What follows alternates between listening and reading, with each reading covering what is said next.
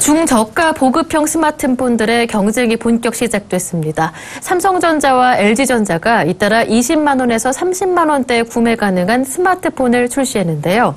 성능도 기존 제품들에 뒤지지 않는다고 합니다. 보도에 양한나 기자입니다.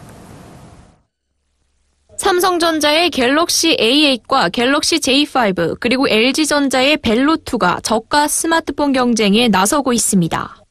갤럭시 A8은 삼성전자의 중저가 스마트폰 3인방 중 하나입니다.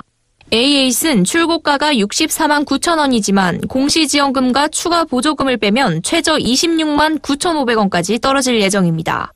성능은 기존 보급형 제품에 밀리지 않을 뿐 아니라 갤럭시 S6급에 가깝습니다. 갤럭시 S6보다 큰 5.7인치 화면에 초고화질 아몰레드 디스플레이를 탑재했습니다. 메탈 프레임을 적용하면서 두께는 5.9mm로 지금껏 선보인 삼성 스마트폰 가운데 가장 얇습니다. 전후면 카메라 화소 또한 갤럭시 S6와 동일합니다. 갤럭시 A8은 SK텔레콤이 오늘부터 예약 판매에 들어갔습니다. 갤럭시 J5는 출고가 29만 7천 원으로 22일 출시될 예정입니다. 500만 화소의 고화질 전면 카메라와 전면 LED 플래시를 넣었습니다.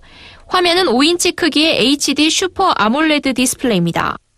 KT는 갤럭시 J5가 가격을 낮추고도 성능은 프리미엄 폰에 뒤지지 않는 센스를 갖췄다는 의미로 갤럭시 센스라는 이름을 따로 붙여 내일부터 판매에 들어갑니다. KT는 20만 원대의 저렴한 갤럭시 센스를 출시하게 되었는데요. 고객분들이 공시 지원금을 받을 경우에는 더욱 저렴하게 구매할 수 있을 것으로 예상합니다. LG전자의 보급형 3G 스마트폰 벨로2는 지난 20일부터 글로벌 시장에 동시 출시됐습니다. 5인치 디스플레이와 500만 화소 전면 카메라를 갖췄습니다.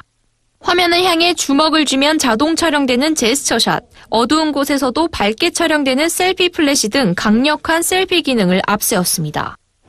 삼성전자와 LG전자는 단말기 유통구조 개선법 시행 이후로 고가의 스마트폰 판매량이 부진하자 중저가 스마트폰 시장에서 승부를 내기 위해 전력을 다하고 있습니다. 서울경제TV 양한나입니다.